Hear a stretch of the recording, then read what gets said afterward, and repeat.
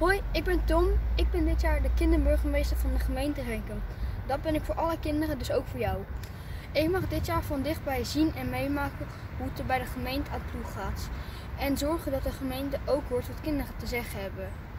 Dit jaar vraag ik aandacht voor het thema Iedereen is gelijk. Want iedereen moet mee kunnen doen. Het maakt niet uit wie je bent, waar je vandaan komt of welk geloof je hebt.